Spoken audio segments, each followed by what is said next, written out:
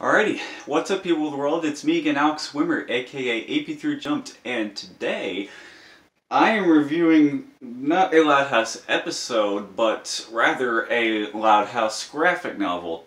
Now I actually are already I actually already reviewed the first two collectively in in my uh, 400th video as part of the multi-milestone marathon, but today well, so so today I'm actually going to review Live Life Loud, the the third graphic novel in the series. Now, there's actually two. There's there's two more coming out later this year, but I'll talk about that later on.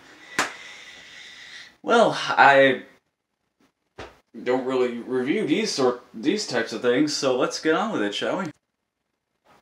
Now, this this graphic novel it introduces um, a couple of uh, new concepts, like it stars both the Loud family and the Casagrande and the Casagrandes. I almost butchered that pronunciation, but um, so yeah, we get to see a, a, a lot more stories with, with these characters. There, there's there's there's several in this, and for the little introduction bios that they have for all the characters in the front. Not, not only do they have uh, the Loud family, but they also have uh, Clyde's family, all of all of the members of the Casagrande family, and, and even all of the pets from all their respective families, and we even get get a little bio on fan, the fan favorite character Sam Sharp. So yeah, she has a last name, and uh, we see her one of her first um, major roles. And, and uh, her first speaking role in this graphic novel, actually, it's called uh, Sam's Pick and I gotta say, it's it was a hell of a treat to finally to see her have a starring role.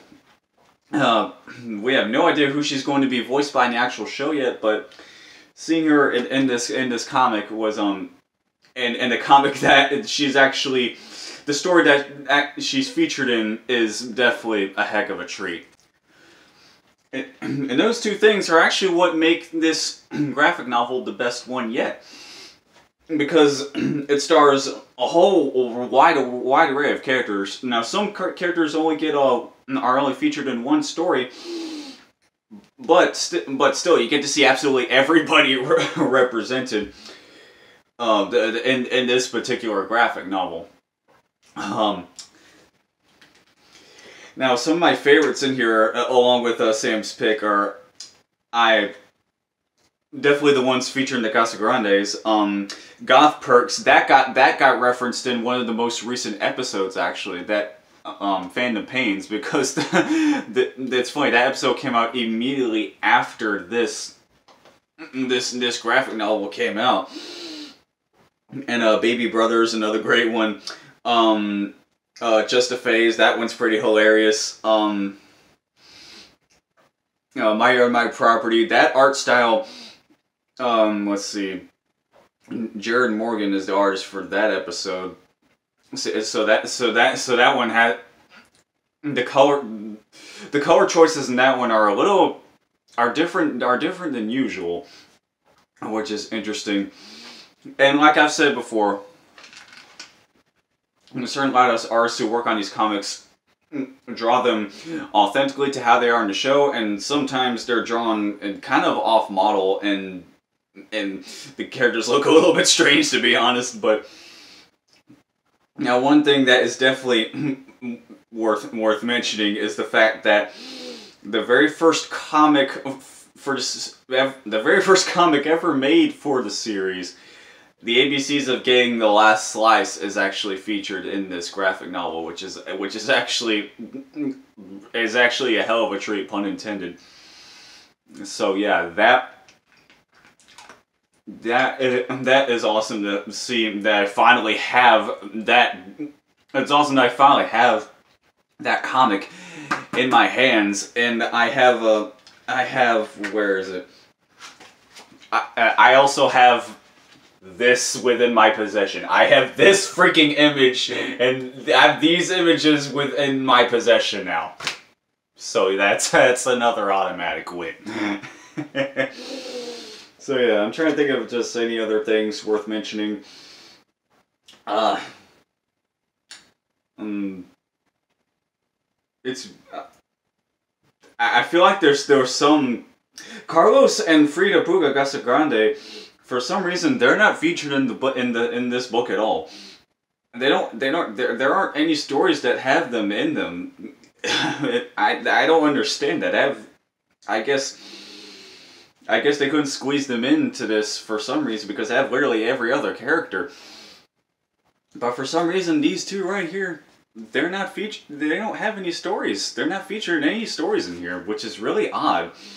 But I will say this: this graphic novel is one of the first sources that you can actually is actually one of the first Loud House sources that you can fully learn about each each of the members of the Casagrandes, and um, so that's really nice.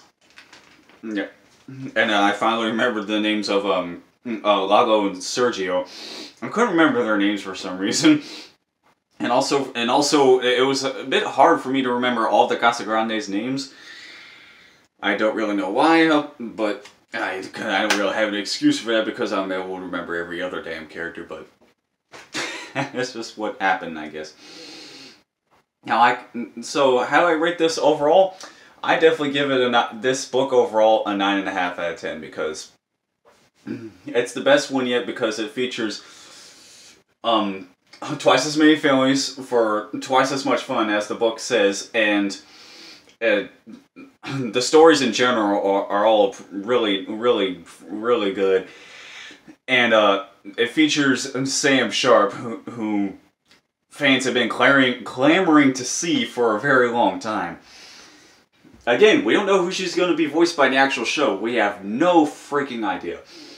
We've seen that one storyboard image. Well, I've seen that one storyboard image with uh, her and Luna sitting in the, I think the the dining room, uh, the tuning their guitars with an amp in the middle, and uh, so yeah, she's bound. She's bound to get a. She's bound to get an appearance, another appearance in this season. So we'll just have to wait and see. And uh, what I thought was going to be um the fourth graphic novel actually got changed because yeah number four what was supposed that was supposed to be number four was entitled "The Struggle Is Real." You, you can see it right there coming soon with that new piece of um cover art, but Papercutz actually just tweeted today a new image for a, a new a new cover image for what one of the new graphic novels, which I thought was going to be number five. It's called a Family Tree, and it features Lincoln in a treehouse and all his and all and all of his sisters on the on the uh, on the on the bottom of the page, on the bottom of the image. But apparently, that's going to be number four, according to Twitter. I don't know. They might they might have messed that up because I. Look, I'm gonna figure this out right now on camera.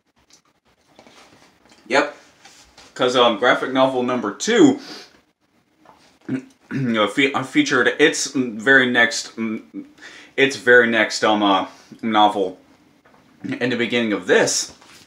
So that means that means um the struggle is real is going to be number four. It, it, or at least it should be. And Family Tree, uh, that that's weird though because they said fa- the Family Tree was going to come out in July, and I thought that was going to be number five. So if Papercutz said on Twitter that that's going to come out in July, the family the Family Tree graphic novel, then maybe that means that th- they must have changed it. they must have changed what was going to be the what was going to be the fourth graphic novel and the fifth graphic novel. We'll just have to wait and see on that. I'm getting it either way, but we're just gonna have to we're just gonna have to wait and see. But anyway, I hope you enjoyed this review of this is actually my very first uh, review for one of the graphic novels, and uh, I'm definitely going to do a vlog on the second anniversary of the show on Wednesday, so be looking forward to that. So if you like this video, then don't forget to subscribe. Be sure to stay tuned for a May 2017 update tomorrow and um, on the first day of May. And um, I forgot what I was going to say. Other than my hair looks like freaking Jimmy Neutrons and uh, this hideous cut in my lip. It's still healing. It's still healing, but it's one of the reasons I haven't bothered to film anything because this looks ugly as hell. Well, I think that's it. Let me know what you thought of this graphic novel, and what do you think of the graphic novels in general? Do you like do you like them just as much as, as the show? Do you like them more than the show? Do you like them less than the show? Which and, and if you do, which stories in here are your favorites? And uh, what do you look forward to seeing in these graphic novels? Definitely, definitely tell me in the comment section below. And uh, uh, I'm open to any kind of uh, constructive criticism, so let me know if there's anything I can do to improve on these videos. Because, yeah, there's... And also, I wore blue for this video because, yeah, the graphic novel's blue. Anyway, uh, I gotta go uh, take a shower. I, um... I've had a long day too, so I'm Alex Warmer, aka With Jumped. Thank you so much for watching until the end. That is it for me, and I will see you soon. Goodbye. I'm sorry that this has been distracting you the whole damn video, but trust me, it's been distracting me too for like the past week and a half. I'll see you next time. I'll see you tomorrow.